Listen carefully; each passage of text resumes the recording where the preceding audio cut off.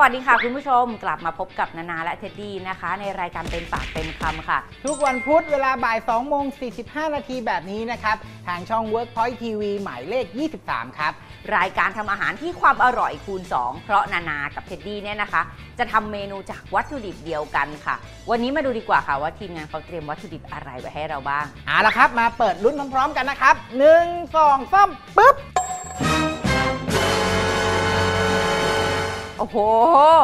หลายๆ คนจะบอกกันว่า Apple a day keeps doctor away ก็คือการกินแอปเปิลวันละลูกเนี่ยนะคะ จะช่วยให้คุณสุขภาพดีจนกระทั่งไม่ต้องไปหาหมอเลยล่ะ วันนี้เนี่ยนะคะได้แอปเปิลทั้งแอปเปิลเขียวและแอปเปิลแดงมา นานาขอเลือกเป็นแอปเปิลเขียวแล้วกันนะ เอาแอปเปิลเขียวมาทำขนมแบบง่าย ๆ หลายคนจะเคยชินกับการรับประทานกล้วยแขกในตอนบ่ายๆ วันนี้นานาชวนมาทำแอปเปิลเขียวทอดกรอบๆแบบกล้วยแขกแต่ไม่ใช่กล้วยแขกนะ เป็นแอปเปิลนั่นเอง แล้วก็มีซอสรับประทานคู่เป็นซอสช็อกโกแลตค่ะ ชื่อเมนูว่า apple fritter กับช็อกโกแลตพุดดิ้ง จริง ๆ ผมว่าโจทย์เนี้ยผมเคยทำแล้ว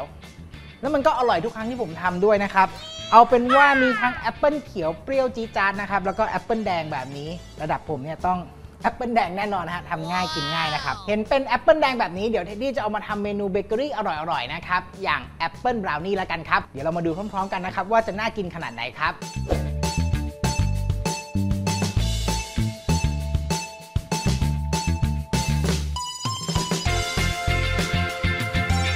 เอาละครับ คุณผู้ชมครับขั้นตอนการทำแอปเปิลบราวนี่นะครับเรายังไม่ทำตัวบราวนี่นะฮะคุณผู้ชมตอนนี้เราจะทำซอสคาราเมลเพื่อทานคู่กันก่อนนะครับ ขั้นตอนง่าย ๆ เลยนะ คุณผู้ชมนะ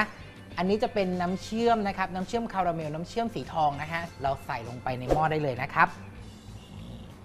เดี๋ยวนี้ตัวคาราเมลซอสทำง่ายมากๆครับ คุณผู้ชมครับ เรามีน้ำเชื่อมสีทองนะครับ แล้วก็เนยสด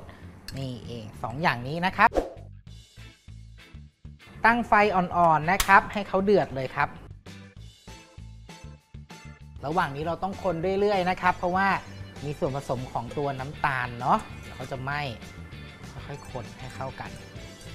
เอาละครับคุณผู้ชมครับสังเกตดูนะครับ ส่วนที่เป็นเนยสดนะครับ ละลายแล้วก็เข้ากันดีกับตัวน้ำเชื่อมเรียบร้อยแล้วนะครับ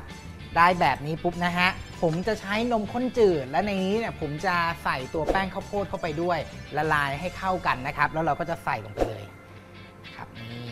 ได้แบบนี้ปุ๊บเราคนผสมให้เข้ากันอีกครั้งหนึ่งให้มั่นใจว่าเดือดและแป้งสุกนะครับ จากนั้นเราก็จะได้ซอสคาราเมลง่าย ๆ แล้วนะครับนี่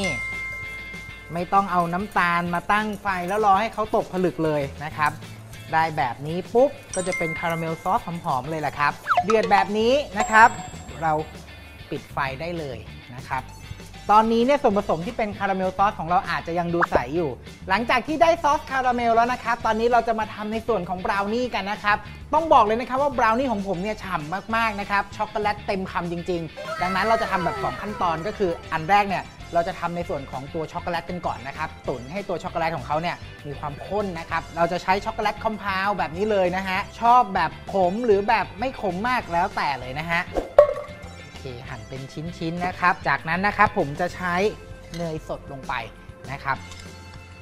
นี่ลงไป ลักษณะก็จะเป็นการตุ๋นช็อกโกแลตให้เข้าๆกันนะครับ เติมส่วนผสมที่เป็นไขมันเข้าไป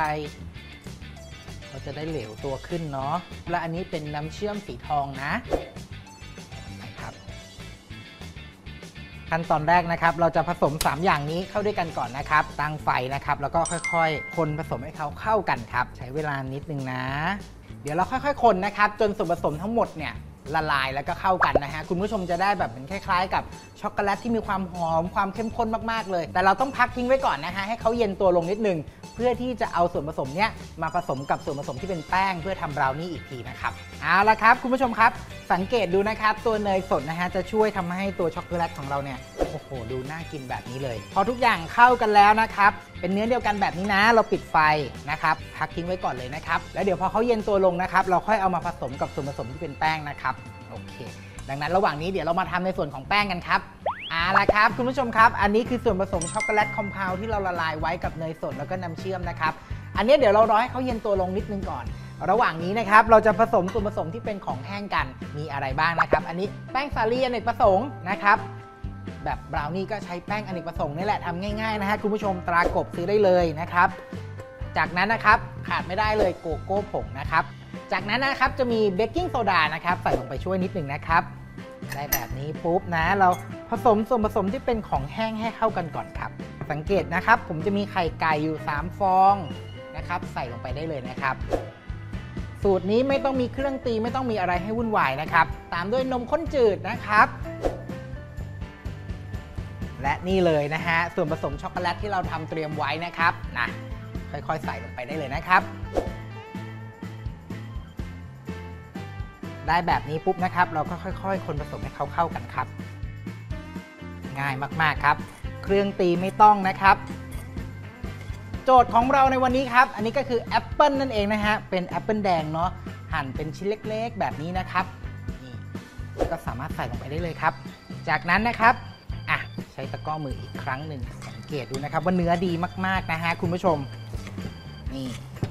ได้ลักษณะนะครับที่เป็นเนื้อบราวนี่แบบนี้ เราเตรียมพิมพ์ไว้นะครับ เป็นพิมพ์เค้กทรงกลมนะฮะ แล้วก็ทาไขมันรองกระดาษให้เรียบร้อยนะครับ จากนั้นก็เอาส่วนผสมบราวนี่ที่เราทำวันนี้ใส่ลงไปได้เลยครับ